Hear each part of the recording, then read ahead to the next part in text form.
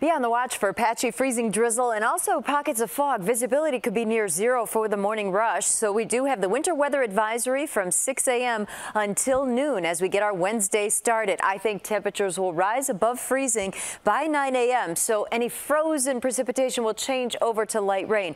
Now this is very, very fine activity, very light, but it's enough that it could glaze over some of the roadways. So be on the watch for that. In the afternoon, we hold the clouds. It looks like we'll touch a high of about 40 degrees with a light rain sprinkle left over. And then the Arctic front comes in for Thursday.